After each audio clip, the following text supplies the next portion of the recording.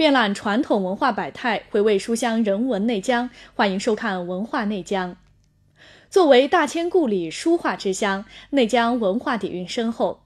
汉安烙画经过近年来的发展，不仅在传统烙画的基础上，工艺技法有所提升，更逐渐从行家里手的个人爱好走进了寻常农家。不仅让普通百姓体验到了艺术创作的快乐，同时也为当地的脱贫攻坚贡献了重要力量。俨然成为内江大地上一朵独具魅力的艺术奇葩。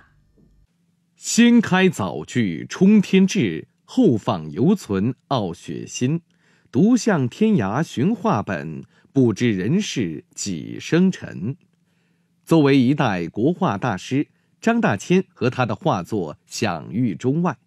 十二月十号，坐落于其出生地的芭蕉井展览馆迎来了一批新的展品。他们就是有着“火针刺绣”之称的汉安烙画。这些展品的到来，也为内江农民烙画作品展正式拉开了序幕。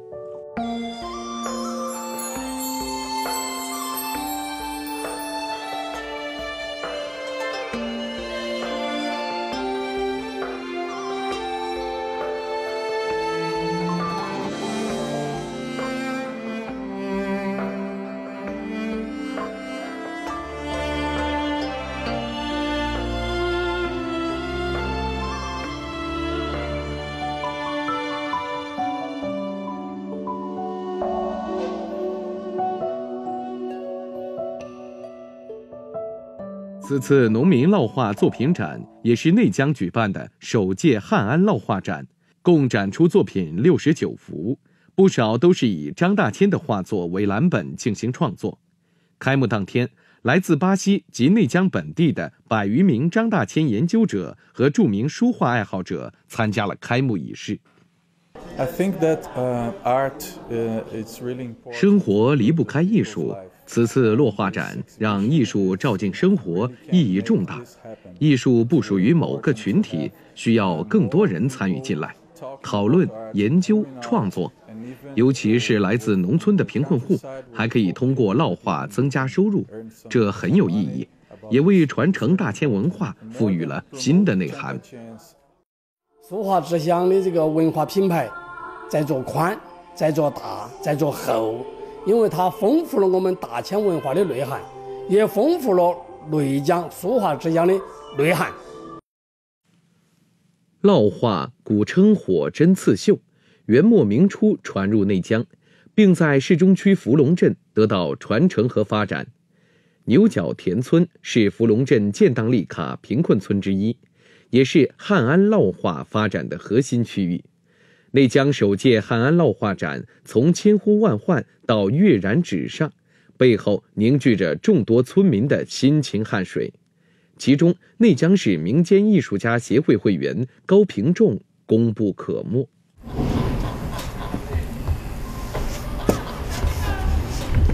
高平仲今年四十七岁，是福隆镇的一名基层教育工作者。从年轻时候开始。他就对烙画情有独钟。啊，从烙画的历史来说哈，他以前使用的灯火，要火吹在这个木板上，或者吹在要烙的这个材质上。好，后来逐渐才发展用炭嘛，用这个用铁器制的嘛，铜嘛，去把用炭把它烧红下来，呃，进行烙制嘛。呃，到现在。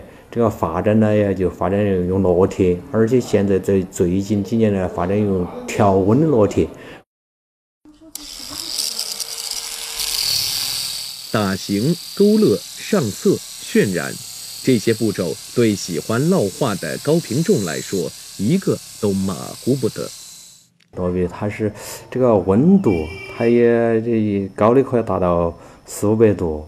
那么这个层次哈，它一个通过我们这个温度的高低，好表现这个颜色深浅；还有一个就是通过我们这个在画面上的这个构图的这个浓淡远近啊，它就能够体现出这个落落这个画面的层次。采访中，记者发现高平仲并不是一个健谈之人，但是只要一聊起烙画，他总是滔滔不绝。他说，在这之前，他从未想过要将自己对烙画的爱好搬出小家之外。直到2014年，身为福隆镇中心小学校副校长的他，为了丰富该镇大吴冲小学的课外活动，便开始在该校开设烙画兴趣课程。这一举措也让烙画渐渐走入大家的视野。从烙画，我个人在家里面玩儿哈，这个业余时间爱好，到现在那个走出来，其实最大的一个感受哈，确实这个感到这个是文艺复兴，因为这个我们习主席嘎在文艺复兴呃座谈会上的讲话以后，呃这个政策大好，人家说能够让我们的这个传统文化，哎更能这个继续的这个传承和发扬。先是个人的小爱好，到学校的少年宫活动，再到牛角田村的文化大院烙画产业，高平仲和他手中的烙笔走的地方越来越多，烙出的内容也越来越丰富。截止目前，他的烙画作品已参加过成都西博会、农博会、西南地区经贸交易会、深圳国际文博会等多个展览。二零一七年。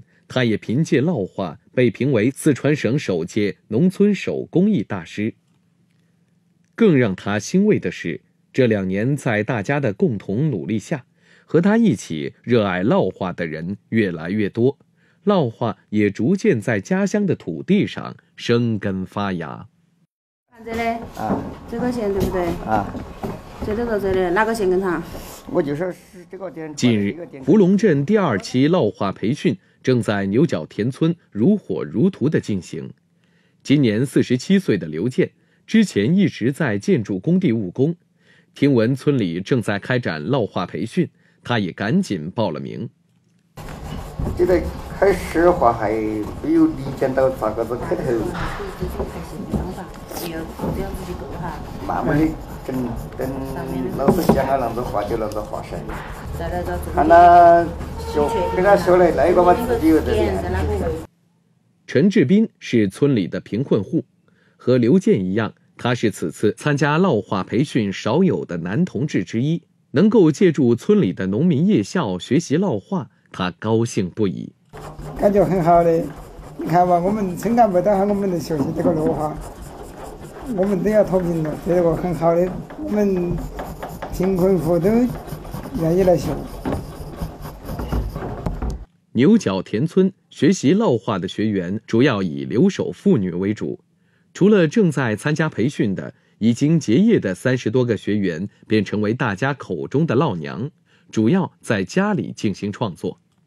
一般就是业余时间嘛，晚上烙哈，然后也要照顾屋头，照顾娃儿，所以一个月应该有一千多的的收入。既能照顾家里，又能增加一份收入。尤丽双道出的是所有烙娘的心声，更重要的是，现在烙画已成为她日常生活中不可或缺的一部分。就是不自觉的自己都喜欢去翻呢，呃，看点名家的著作啊，好看点有关于画画的方面的知识啊那些，还有看各个大师的作品呐，都比较喜欢。花若盛开，蝴蝶自来。二零一六年。纸烙烤画成功入选第五批区级非物质文化遗产名录。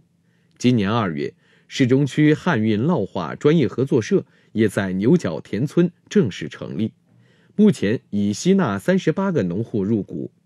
随着当地烙画作品如雨后春笋般涌现，项目投资者也随之而来。呃，当时富隆镇的那个，呃。政府哈，呃，张镇长拿了一幅落画的一个很悠久的一个作品，呃，给我看。当时我对那个落画，呃，看了过后啊，非常的兴奋，也非常的高兴。然后心里面呢，对他就有了很多的一些想法，所以说后面就有了我们现在的那个竹里落乡。记者了解到，竹里烙乡民宿文化风景区。是福隆烙画艺术小镇的主体项目之一，预计投资一千五百万。也就是它不仅仅是我们现在，呃，富隆镇的，也不是我们市中区的，也不是我们内江的，而它是属于我们全国的，以及是属于全球的一个一个世界一流的一个呃一个文化一个文化。我们应该把它发扬光大，让它走向世界。现阶段，竹里稻香民宿文化风景区项目已经正式开工建设，村上也开始承接其他烙烤方面的业务。截止二零一七年六月，牛角田村的烙画作品已经累计销售收入达六十万元，实现留守妇女居家灵活就业近三十人。